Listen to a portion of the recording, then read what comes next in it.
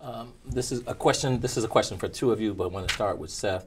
Um, some, I think last year I wrote a book uh, by Philip Yancey, um, um, a Princeton professor, and the title of the book was "Look, Mom, a White or a Black," and he tells the story of being out in public, and a little boy, white boy, was with his mom, and he, uh, the little boy said, "Look, Mom, a black." And he said loaded with with that word look mom a black was look mom a criminal. She grabbed him and mm-hmm. and um, uh, look mom a thief a rapist. Uh, and Yancey's point was that children are being instilled to to hate blacks and to fear blacks and uh, uh, he actually said that you know blacks have the right to when every time uh, we see a white person to say look uh, someone who has enslaved us lynched mm-hmm. us um, and we don't do that. Why do you think white people uh, not all uh, but some begin to plant seeds of fear with respect to African Americans and people of color? I think because these systems perpetuate themselves over time and that's and, and you've identified how they perpetuate themselves that we pass that on a generation to generation. This is you know the sins of the father being passed on to the son for 10 generations. That's what the biblical passage is talking mm-hmm. about. Um, and that so we're passing on that woundedness. Compassion is what we use to bring attention to the fact that we're wounded and how to tend to that. Um, so that um, my sister told me a story. I am too young to remember it um, but we were visiting relatives in Indiana, and apparently there was an African American man walking across the street, and I said to my parents, "Is that Mr. T?" Because uh, that was, I guess, my only connection to blackness at, at, at, that such a young age. And I have no memory of this, but my sister remembers thinking that my parents were really uncomfortable about that. Mm-hmm. And so we, we start passing on this at very, very young age. And children are able to take that in at a very young age. Mm-hmm. And so it's taking the time to begin teaching our children differently, reforming our youth groups to be places where we explore this so that youth can address this. And then as adults saying, owning up to that and saying, you know what, I, I've been wounded too. I need, I need to heal from this. I don't want to be a part of this cycle anymore.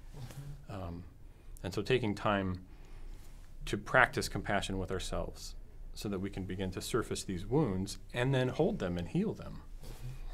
I believe it, it requires this shift, building upon what Seth just said, from thinking about racism as um, moving from being uh, not telling you don't want to be prejudiced to being anti-racist. Mm-hmm. That's very different. It's, it seems su- subtle, but it's actually not. It, um, we're taught to not be prejudiced. We're taught to, to literally to not say out loud look a black, mm-hmm. but you just grab your mother's hand when you see a black person and you say it without saying it, mm-hmm. right?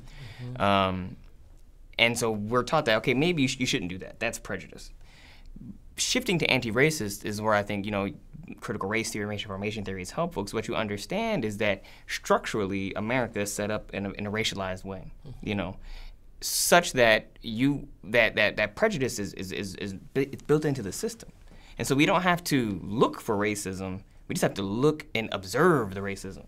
And so we need to be anti-racist. We need to recognize that mm-hmm. racism is embedded in these structures, right? So we need to we need to look for how it's operating, and without we don't need to assume that a system is neutral. You should assume that actually it's racist, yeah. and we need to figure out how we can be anti-racist and unpack that, right?